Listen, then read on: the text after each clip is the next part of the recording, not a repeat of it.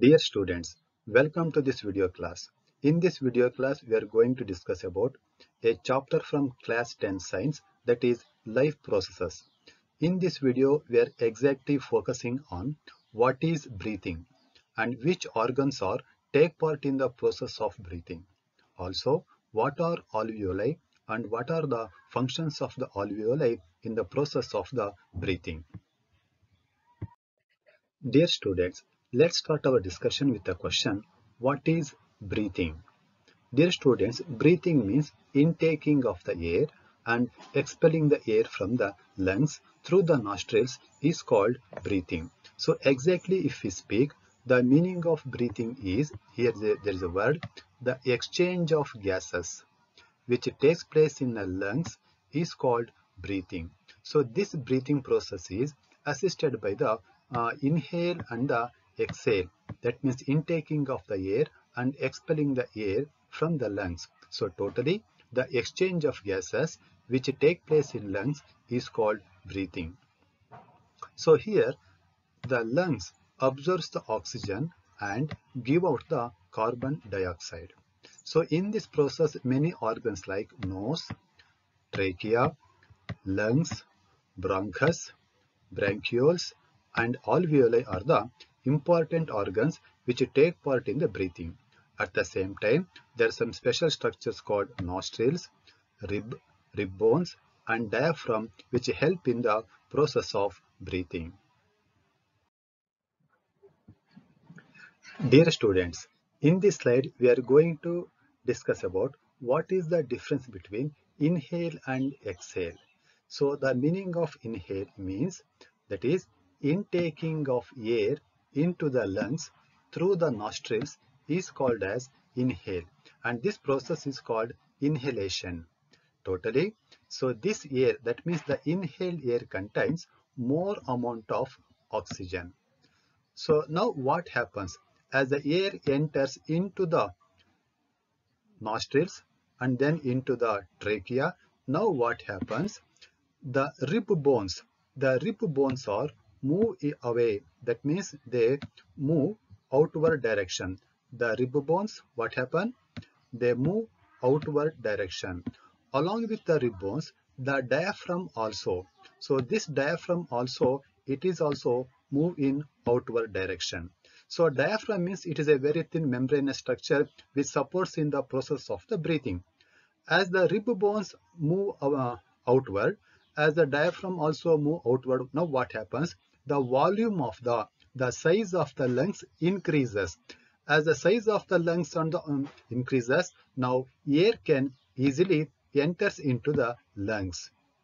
That means from the trachea, the air can enter into the both the lungs. So this process is called inhalation. So totally, the intaking of air into the lungs through the nostrils is called as inhalation. Okay, now let's come to the what is the meaning of exhale. So exhale means this is quite opposite for the inhale. That means the moving away of air from the lungs through the nostrils is called exhalation. So usually what happens, this exhaled air contains more amount of carbon dioxide. So at the time of exhalation what happens, the rib bones, they move inward direction. They move inward direction. The rib bones move inward. Also, also the diaphragm also move inward. As the diaphragm and the rib bones move inward, what happens? The size of the, the volume of the lungs decreases and it creates a pressure inside the lungs. As the pressure created, now what happens? The air can easily move away from the lungs and enters into the trachea. From both the lungs, the air from the lungs move out into the trachea and finally to the nostrils. So this process is called exhalation. In this slide, we are going to discuss about how exactly the exchange of gases takes place in human beings, that is in respiratory system. Here, we can find the diagram of the human respiratory system and this is the structure of the alveoli. So first what happens? During inhale, that means intaking of air At the time of inhale, what happens? The air enters into the nose through the nostrils. See, from the atmosphere, what happens? The air moves into the nose and it enters into the nostrils. So in the nostrils, what happens? The walls of the nostrils, they are lined with the fine hairs and the uh, mucus.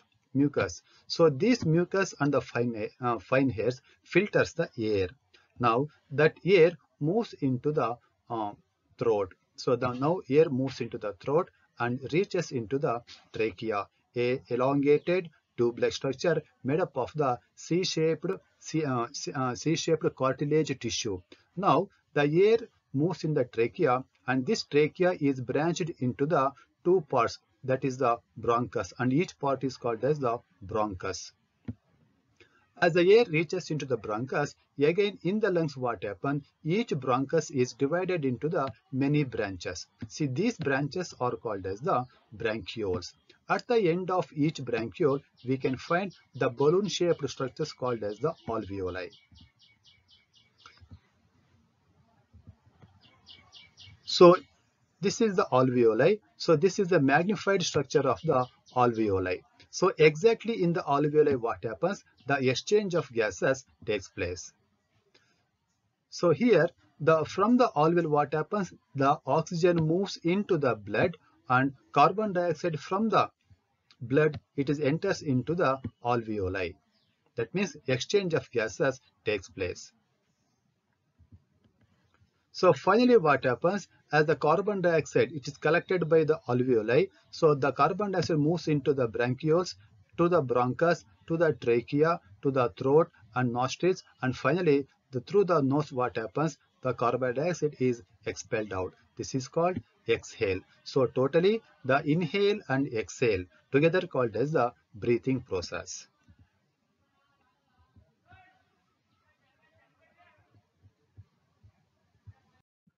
Dear students, in this slide, we are discussing about how exactly the exchange of gases takes place inside the lungs with the help of the alveoli. So what are alveoli?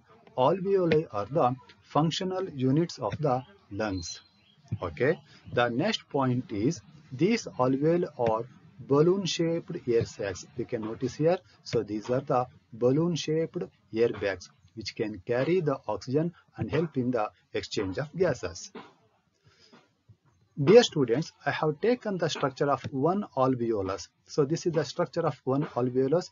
The walls of the alveolus is very very thin so that it can easily participate in the exchange of the gases. So that means the walls of the alveolus are there very very thin.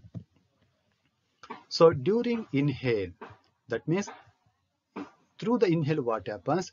The air enters into the alveolus. That means the air enters into the alveolus.